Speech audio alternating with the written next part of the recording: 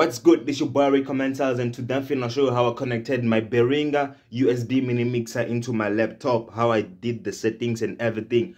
I'm finna show you guys. Without further ado, let's get into it.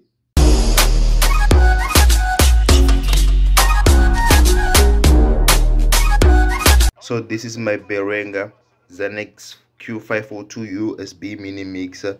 So this is the power right here. This is the power. It's like this.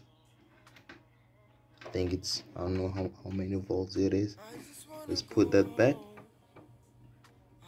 Uh oh. Yeah. And then this is the USB port. It's a USB mixer. Let's put that back and then here my headphones switch this off and then he, here my headphones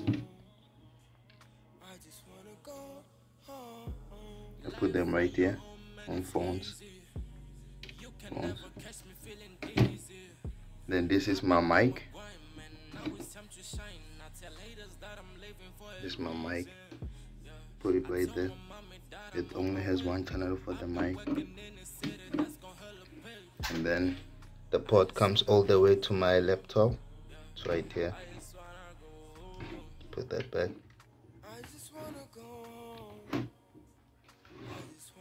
then I, am going to, to show you how I set this here when I want to record my quality vocals. Let's put everything to zero for now. And the balance straight. This is the phones this is the headphones volume. It's on zero. You can adjust it. Then this is this is the main mixer. This is for the speakers let's put it on zero and then now let's go into the computer and then i'll show you while capturing this side also. So now now we are in the computer and then i'm going to show you how how first how to find the usb mixer on your devices on fl studio. So uh, the first thing we do is we go to options click options and then we go to audio settings. We click on that and then we go to device. There's there's input and output. We go to device you can see the mix sites here speakers 3 usb audio codec. That's the mix it means it's reading. And then but then for us to record we cannot press there because that's that's only the output. There, there's no input. That's only when when you want to make beats. And then you want the like sound drivers to come from the mixer straight not from the computer. You press there. And then if you want to record you have to press FL Audio FL Studio Audio or, or ASIO4ALL V2 but then I use this one. You press there and then you go to your to your what you call to your mixer. Then you press here where there's post. Then you go to FL Audio mono. Don't go to stereo. And then you click in one into it's up to your mic which one like plays left and right. Because some they just play right only or left only. And then you press that. And then now I'm, I'm going to show you I'm going to show you how to equalize on the mixer so like your vocals can sound like good like this. You know I'm saying? Like it sounds good. So let's get into that now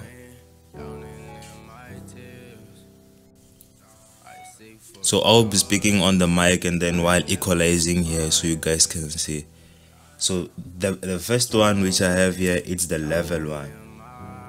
It's level. Now I'll take it up you can you can hear me but then I suggest you put it on the middle.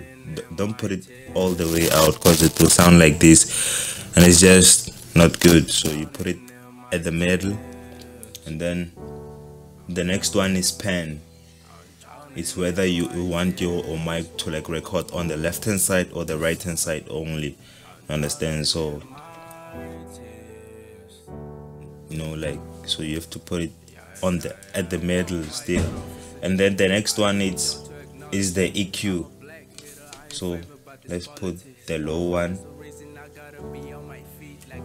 Yeah yeah so like all the bass is gone. Like it's just the like high frequencies only. The low frequencies the bass always.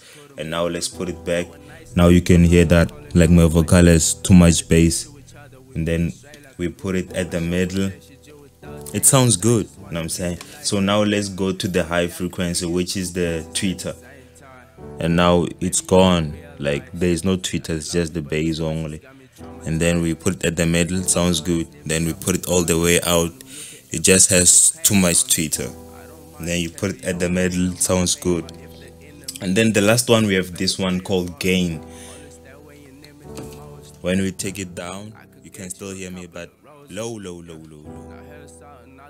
Without like background noises. So this is good. It's it's up to you if you want to uh, put it at zero and then you like increase your volume on the FL Studio because now the mic has like much quality no background noise. And then when we put it at the middle it's loud but then you can hear this background noise. Because right now I'm, I'm in my room. So now we put it all the way. That's not good. You see it's distorting. And then there's even like the clip there so like we don't need that distortion. So that's how you set your mixer. This is for the mic only. This channel for, is for, for the mic. And then the other things you should know yeah when when you record you have to have your your, your phantom power on. It has to be on or the mic will just fade you have to have your phantom power on. You have to put it on phones. On phones. There must be on phones and then the main must must be off because th this is the speakers it will cause that sound.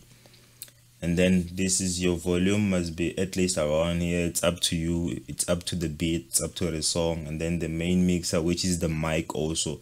When you when you switch off uh this this this the speakers the main mixer becomes the the volume for the mic. You know? So I just put at the middle and then that's it. So that's it guys. I hope you enjoyed the video. Uh yeah. Yeah that's it guys. Thank you for watching the video until the end. Don't forget to like subscribe and share the video. Check out some of my videos. I have some videos re related to these tutorials how, how to make these. I, I have my songs. I have many things on my channel because i'm a content creator. I'm not the beat maker only i'm a content creator so see you next time. Until then stay safe and stay at home